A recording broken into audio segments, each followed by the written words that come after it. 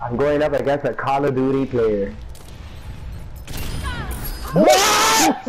I feel like